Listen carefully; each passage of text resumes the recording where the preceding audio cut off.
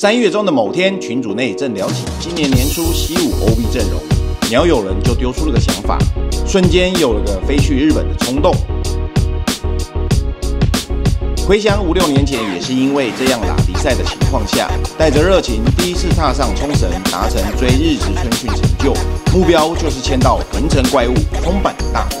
不到一个月时间，揪团成功，并且订好机票和住宿，背起简单的行李，准备前往日本东京。其实这次赌注非常大，一切就要交给棒球之神是否眷顾了。你是行动电源还是充电器？行动电源的充电器，电池的不行。你要拿出来，不然我会被狗。感你是第一次出国？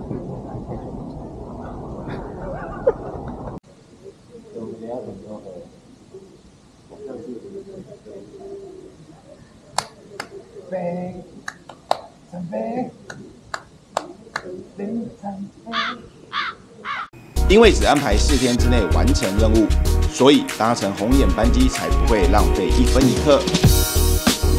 特地选了个左边靠窗的位置，希望可以看到俯瞰的富士山。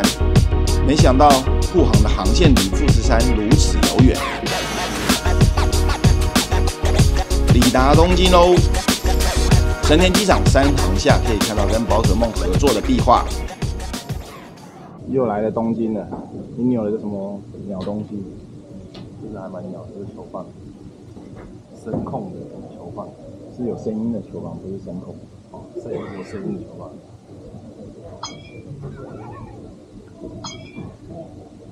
我们这是在东京的嘛？这个秘密任务，这个秘密。刚收到等了一阵子的三六零相机配件，这次刚好带来测试看看。在上野车站将行李放到置物柜之后，搭乘地铁日比谷线前往神谷町站前进，目的地是麻布台之丘。在神谷町站下车，沿着车站五号出口方向走去，地下连通道会指引通往麻布台之丘。地下连通道里面也有不少餐厅和店家哦。现在我所在的地方就在 Molly JP Tower 的一楼。那等一下要上去楼上的咖啡馆展望台，在这个地下一楼的入口处会有一个警卫管制，除非你要告知他你是要去哪一层楼消费，他才会放你进去。四月十八号开始改成，一定要到他们的咖啡吧消费，才会让你进来坐这个直达三十三楼的电梯，抵达展望台，可以很近距离看到东京铁塔。从三十三楼的电梯上来三十四楼，就会有一个红龙，然后人就会顺着这个红龙到结账台这边。要在这个地方先跟店员点餐，才可以享用你的观景台。在三十四楼的咖啡吧有最低消费，一个人五百日币。那原则上呢，你就是点个面包、小餐点，加一杯咖啡，你就可以在三十四楼这边坐着慢慢享用你的咖啡。然后呢，餐点是不能带下去三十三楼的，只有咖啡可以。接下来就进入试吃时间，是它的咖啡。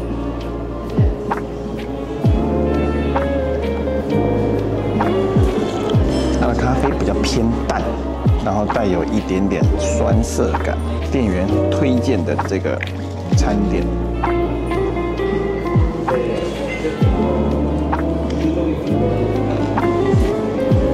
它是冷的，没有想象中的酥脆，然后内馅有一点红酱那种茄汁酱的感觉，像茄汁意大利面的感觉，然后带有一点卤肉的味道在里面，上面有满满的黑胡椒，剩下这一个，它就是葡萄干的面包，然后外面吃起来有点像可颂，一层一层的层次感，然后里面有葡萄干，甜甜的，还蛮好吃的。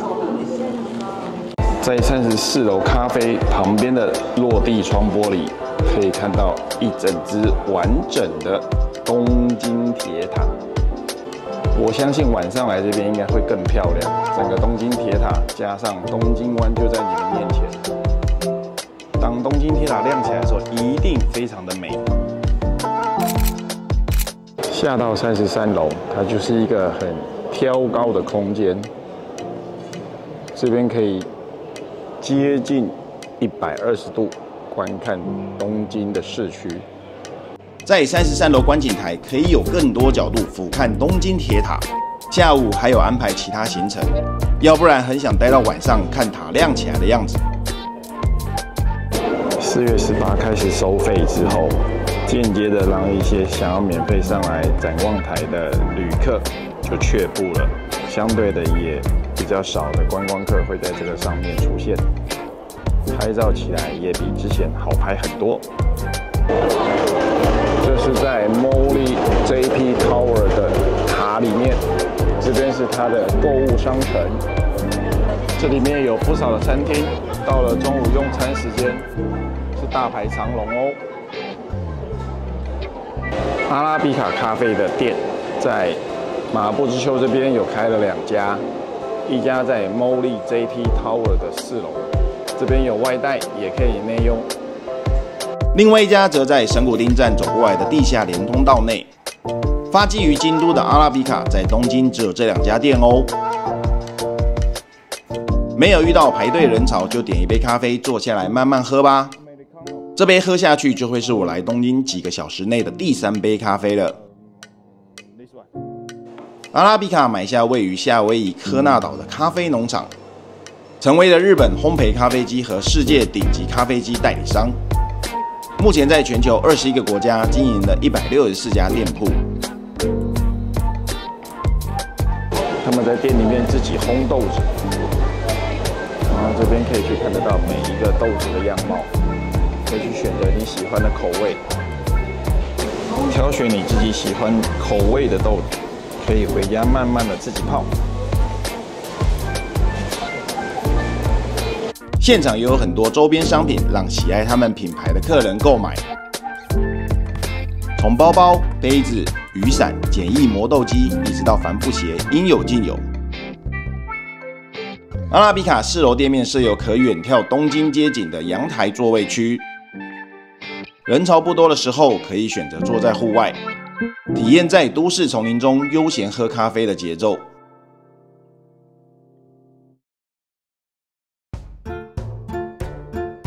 走回车站的路上，看到 Team Lab 的展览正在展出。接着马不停蹄的搭乘地铁来到涩谷，目标就是要来吃一家很厉害的汉堡牌专卖店，就位于涩谷 Parko 地下一楼。五月四日为全球星战日，一楼还可以看到星战的装置艺术哦。搭乘手扶梯下到地下一楼，就可以看到吉位屋，在 Top Lake 上面高达三点四颗星的高评分，还好我提早到，排队人潮没有太夸张的多。发迹于福冈的时候是以烧肉店经营为主，后来开设了汉堡排专卖店，开始爆红。汉堡排是这家店的招牌。有分四种不同 size 可供选择，喜爱吃肉排的也可以选择伊万里牛排，牛排是每日数量限定哦。小朋友才做选择，我两种都要吃，可以选择汉堡排加上牛排的套餐选择。热门用餐时间基本上都是排队一个小时起跳，有朋友排过一个半小时才吃到。还好我提早到达，只等了二十五分钟而已。店家标榜使用来自九州的伊万里黑毛和牛，肉质有着肥瘦均匀的脂肪以及软嫩且多汁的口感。店员会先确认订购的餐点大小，接着把汉堡排拍打成型，透过来回的拍打，将肉的筋性完整释放出来。光看着店员处理牛肉的过程就相当疗愈。稍微整形之后，就会放在你面前的铁板上头。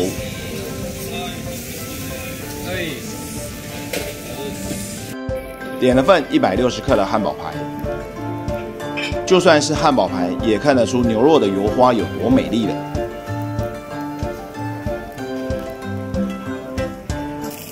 六十克的伊万里牛排油花分布也是很漂亮，与汉堡排在铁板上煎的滋滋作响。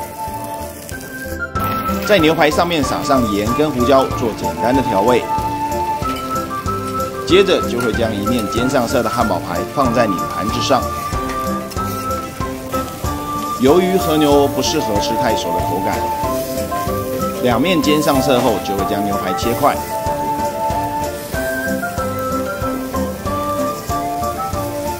切好的牛排放置在你的盘子上，汉堡排撒上葱花后，就可以准备享用喽。从牛排的中心看得出来肉质有多鲜红，汉堡排的厚度真的非常满足。套餐组合还会有生菜沙拉、汤品以及白饭。和牛的油脂吃多了会腻。所以搭配生菜一起吃可以解腻。这里的吃法很简单，用铁筷子将汉堡排分成你想要的大小，自行在铁板上煎到想要的熟度即可。看看这个筋性有多强啊！和牛肉质在铁板上面煎到油都流出来了，快速两面煎上色后就可以享用喽。煎过的肉质产生梅纳反应，会让肉带有焦香味。牛排我还是放上铁板稍作加热，自己比较偏好带有焦香气味的牛排。将牛排以及汉堡排夹入碗中，第一天的午餐就是如此朴实无华。肉质好的和牛加上适度的拍打，让肉产生筋性。这样吃起来会让口感更扎实，肉排不会一下就散开了。不得不称赞日本的米饭吃起来真的很好吃，采用佐贺县产特 A 的米，咀嚼后会释放出甜味以及米的香气。套餐餐后还会附上一份牛奶冰淇淋，看似普通的牛奶冰淇淋，吃起来特别绵密且粘牙，真的出乎我意料的好吃。吃完结账才三千多日币。日币跌了，能不暴吃一顿吗？离开前排队人潮已经慢慢涌现。走回涩谷车站，经过著名的涩谷十字路口。今天是周五的中午，相对人潮还没有很恐怖。吉味屋汉堡牌专卖店，我真的强烈建议一定要吃。那个肉质的鲜甜以及油脂的香气，稳坐我心中第一名。东京除了涩谷店之外，在东京车站有另外一家分店哦。还有什么推荐的日本汉堡牌，也可以留言推荐给我。我们现在去哪里？回饭店睡觉。回饭店睡觉。我的帽子就知道我们要去哪里。我们去修轮胎。吃完汉堡牌，跟朋友会合后，从上野搭地铁来到横滨站，转搭前往关内站。晚上要去看横滨 DNA 的比赛。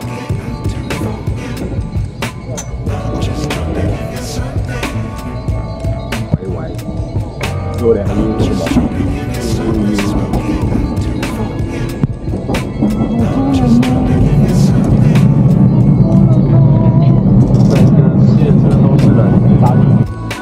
如果不知道哪个出口，跟着穿球衣的球迷走就对啦。在关内站下车，距离横滨球场是最近的车站。今天晚上是横滨 DNA 对上东京读卖巨人队。赛后场内会有演唱会，车站与球队的视觉连接做的还蛮到位的。站门口可以看到两顶横滨的大帽子挂在上面，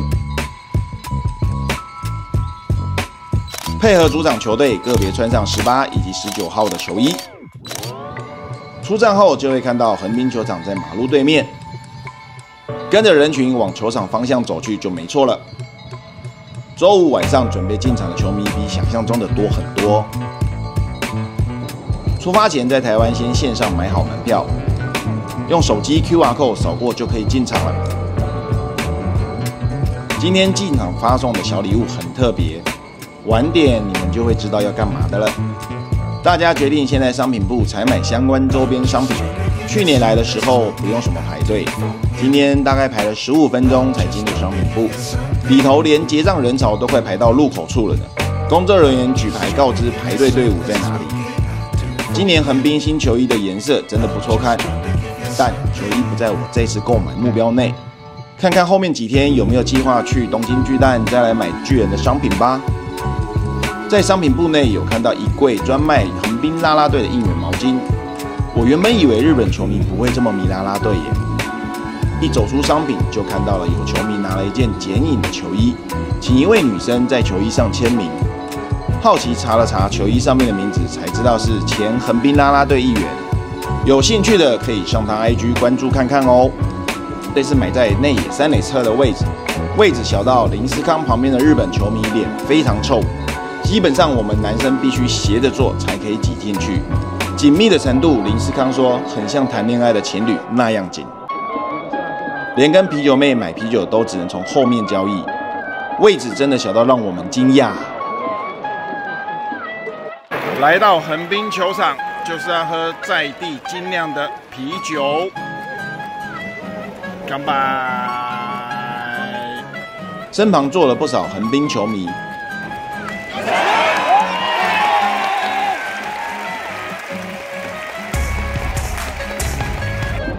这场对上巨人的比赛，涌进了三万三千多名球迷。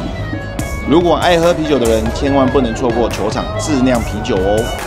当年跑去美国奥勒冈波特兰与德国啤酒工厂见习，回国之后在实验室重复调配，并与一百八十年老店合作，创造专属于横滨球场的味道。日本职棒在局与局之间会有很多跟球迷的互动游戏。中场五局的时候，中外也就有一个很大的捕手人像，让小球迷试着将球丢进咖啡色的圈圈内。第一次丢不进，会让小球迷再丢一次，娱乐效果十足的互动过程，也让球迷在换局之间不会太无聊。在日本看球，啤酒妹也是观赛重点之一。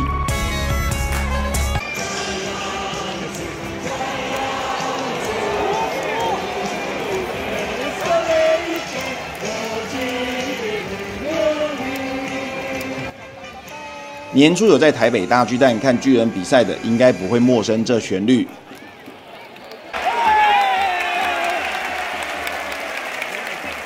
横滨攻势再起，现场横滨迷也开始苏醒起来。右手边的横滨迷在喝了五局多的啤酒后，也开始有了呐喊声。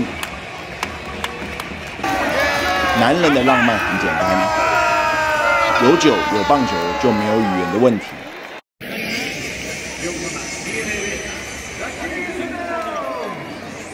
疫情前，日职的文化在第七局会释放气球。疫情期间，怕口沫传染而相继禁止释放了。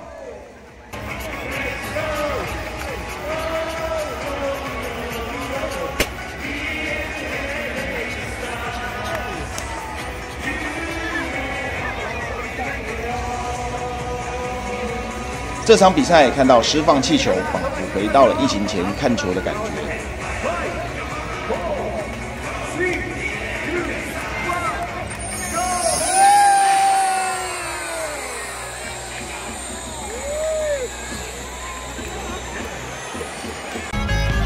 场外不知道是什么单位的活动，一直可以看到高空烟火的释放，一放就是将近二十分钟的烟火停不下来，球迷免费欣赏到精彩的烟火秀。八局下横滨满垒，轮到超级新人杜慧龙辉的打击，这个打击撞下了横滨新人的超强纪录。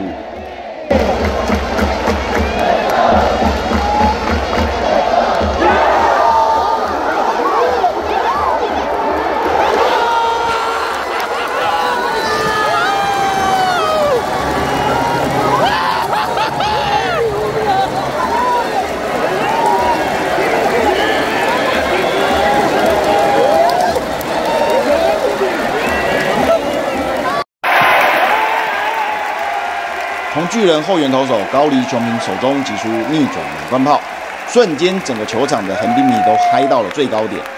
他就是超级新人杜慧龙辉。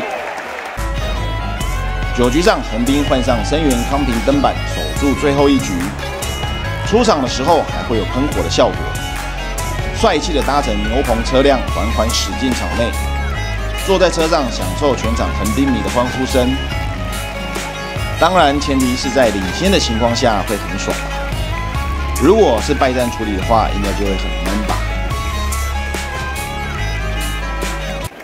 拿下这场胜利后，横滨 DNA 全队列队在一垒侧。球场关灯后，球迷拿出进场发送的蓝色荧光棒，全场一起大声唱出横滨 DNA 的队歌。在球场亲身体验，真的会让人起鸡皮疙瘩。